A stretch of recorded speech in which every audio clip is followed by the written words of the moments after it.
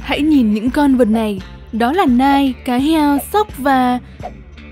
Một con khủng long. Chắc bạn đã biết rằng tôi chuẩn bị đố bạn chúng có điểm chung gì nhỉ? Câu trả lời nhạt nhẽo nhất chính là chúng sống trên trái đất, phải không nào?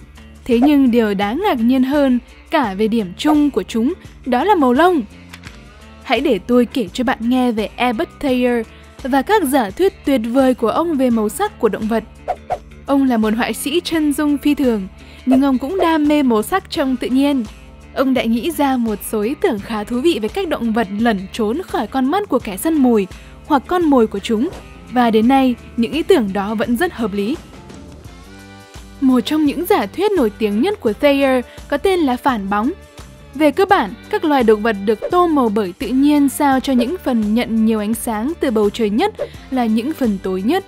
Và ngược lại, Điều này giống như thể chúng đang mặc một bộ đồ hoàn hảo để hòa lẫn với môi trường của chúng. Và kỹ thuật này không chỉ dành cho các loài động vật có gu thẩm mỹ thôi đâu. Nó còn được tàu thủy sử dụng để tránh bị phát hiện. Thayer và bạn của ông thậm chí đã nhận được bằng sáng chế cho phương pháp này nữa đấy. Thayer cũng đưa ra ý tưởng hòa màu với phong nền. Đó là khi một con vật hoặc một đối tượng biến đổi màu sắc để phù hợp với màu của môi trường xung quanh. Nó giống như một bộ đồ ngụy trang tự nhiên vậy. Nhưng Thayer vẫn chưa dừng lại ở đó. Ông còn đề xuất giả thuyết về việc sử dụng kiểu ngụy trang gây ra chứng hoa mắt. Đó là khi đồ vật được sơn những họa tiết kỳ lạ. Điều này khiến đối phương khó có thể xác định khoảng cách và tốc độ của nó. Giống như thể bạn đang cố đập một cái piñata di chuyển khắp nơi vậy. Bạn không thể xác định được khi nào thì mình nên vung gậy. Hãy tưởng tượng nếu bạn là một con cá mập đang bơi dưới mặt nước đại dương và ngước lên nhìn nào. Bạn sẽ thấy bầu trời sáng chói và mặt nước đại dương có màu sáng hơn vùng nước bên dưới.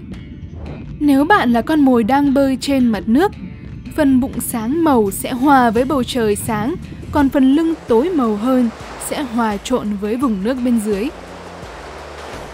Kỹ thuật phản bóng không chỉ được động vật dưới nước sử dụng các loài trên cạn như nai và thỏ cũng có vùng bụng sáng màu, còn lưng thì tối hơn. Nhờ đó mà chúng có thể hòa mình vào ánh sáng lốm đốm ở thềm rừng. Và đừng quên những loài chim. Lông vũ của nhiều loài chim cũng sử dụng phản bóng. Kỹ thuật này giúp chúng hòa màu với bầu trời khi nhìn từ phía dưới lên và khi quan sát từ trên xuống. Chúng trông cũng giống mặt đất. Một số sinh vật có cách để cảnh báo những loài khác đừng dây dưa với chúng. Đúng vậy, đó là tín hiệu xua đuổi. Đây là thuật ngữ dùng để chỉ việc sử dụng màu sắc tươi sáng hoặc các họa tiết để kẻ săn mồi biết rằng chúng có độc hoặc là chẳng ngon lành gì. Ví dụ như trồn hôi. Giải trắng rộng trên lưng của chúng giống như một biển báo neon nói rằng Đừng lại gần, nếu không bạn sẽ hối hận đấy. Và cả loài ếch độc sọc vàng nữa. Chúng là những cái bảng quảng cáo di động dành cho chất độc của chúng. Màu sắc sáng sủa và sống động của loài này cho mọi người biết rằng không nên tiếp cận chúng. Ngay cả loài ong cũng sử dụng sức mạnh của các màu sắc rực rỡ để báo hiệu rằng mình là một mối nguy tiềm tàng với những cái ngòi biết đốt. Bạn có biết những chú bọ cánh cứng đáng yêu này không? Càng sáng màu thì chúng càng độc. Ai mà ngờ một loài vật dễ thương như thế lại chết chóc đến vậy chứ? Hóa ra trắng, vàng đỏ và đen là những màu sắc hiệu quả nhất để cảnh báo trong vương quốc động vật. Giống như việc các biển báo hiệu giao thông cảnh báo đến tài xế. Những dấu hiệu rực rỡ này là cách để thiên nhiên lên tiếng rằng, Coi chừng đó bạn ơi! Nếu tình cờ gặp phải một sinh vật có màu sắc rực rỡ thì hãy nhớ rằng chúng không cố tình làm fashionista đâu. Nhưng tại sao một số loài động vật đã tiến hóa có các màu sắc tươi sáng, trong khi những loài khác lại không?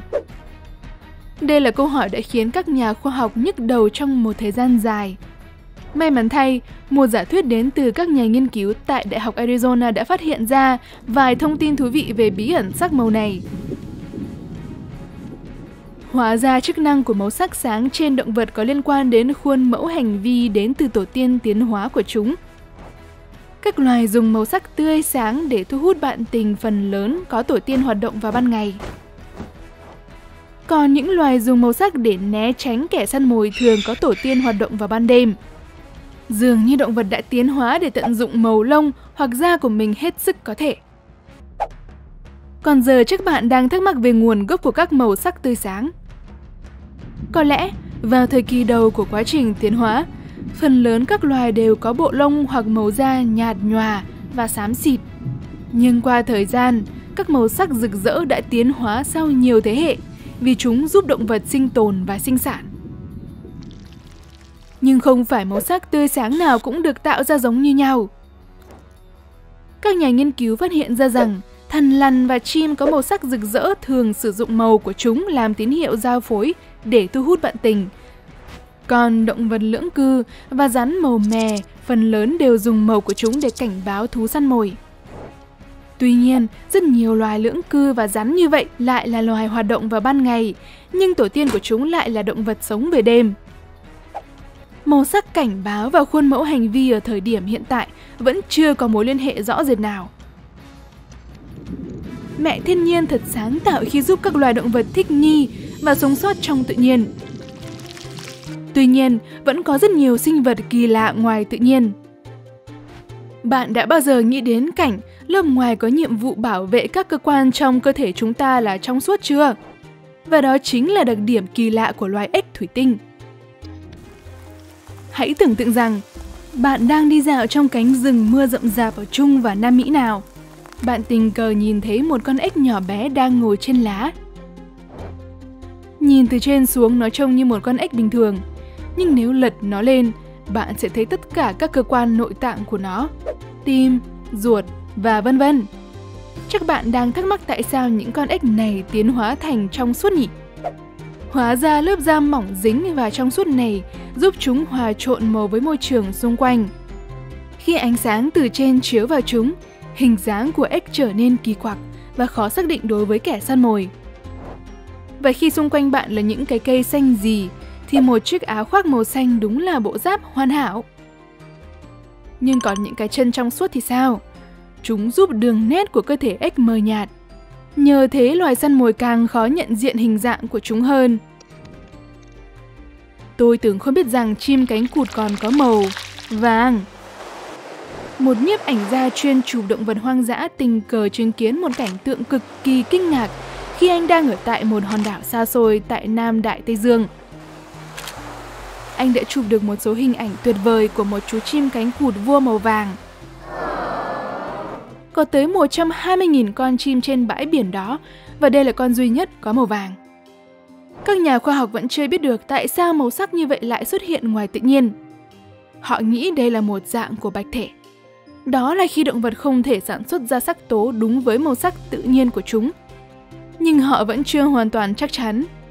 Con chim cánh cụt vua nào cũng sản xuất một lượng nhỏ sắc tố màu vàng.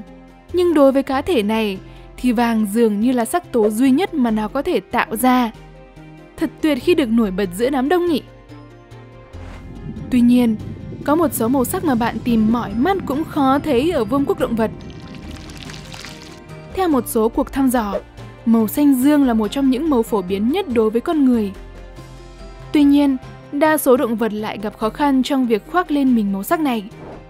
Một số loài lấy màu sắc từ thức ăn của chúng Ví dụ, hồng hạc biến thành màu hồng vì ăn tôm và cá vàng có màu vàng vì thực đơn của chúng.